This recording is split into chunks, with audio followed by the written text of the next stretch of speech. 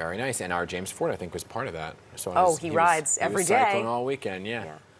All right, the news at 7 starts right now.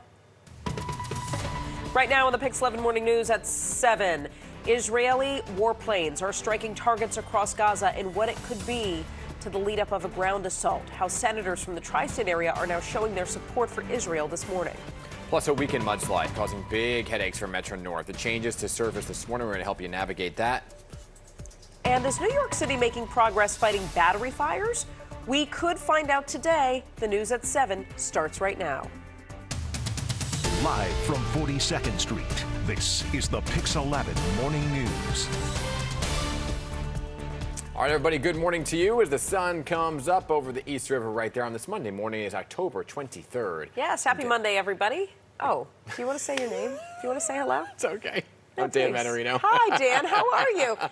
Thanks for me just being the guest and just oh, like please. stepping on everyone. Yeah, I'm Rama in for Hazel this morning. You're never more than 10 minutes away from traffic and weather on this Monday morning. Alex Lee's in the house. Meteorologist Stacey Ann Gooden is with us this morning. Yes. Yes, we are here and we are enjoying what's ahead. I'll tell you what.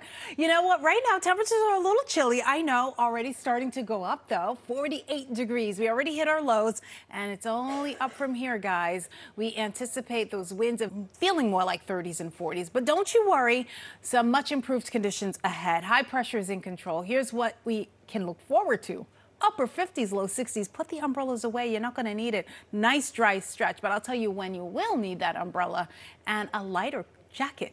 We'll have more in 10 minutes. Alex, sending it over to you.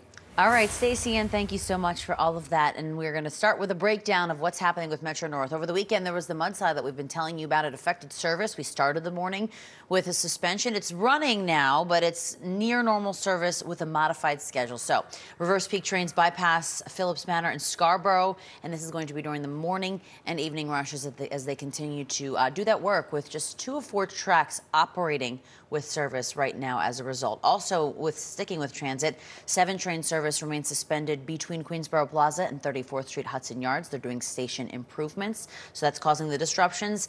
And in addition to that, we have service changes on these five lines. It's 4B, F, M, and Q, signal, smoke, and mechanical issues. We'll send it up once again now to Tom Kaminski. He's joining us live in Air 11 with the rest of the gang over the George Washington Bridge. Tom, how's it going over there?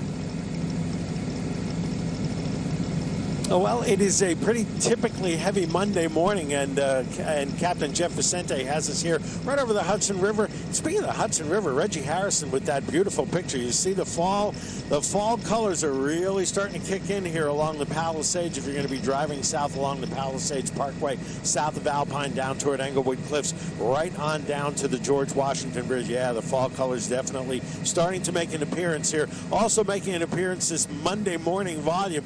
We don't get very many easy Monday mornings anymore at the uh, Hudson River crossings. The inbound side GWB 30 to 45 minutes from 8095, maybe a little better from that Palisades Parkway approach, but lots of stop and go right across the upper and lower levels. We're live over the George Washington Bridge. I'm Tom Kaminski in Air 11.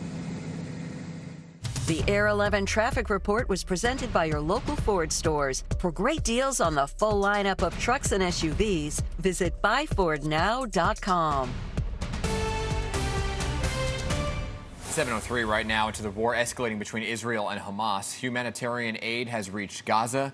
Despite that, Israel says it is preparing to launch a major ground offensive in Gaza, telling Palestinians to move further south. Right now, a delegation of U.S. senators are in the region as well. Pix 11's Kiran Dhillon live outside the Israeli consulate on the east side with more on this.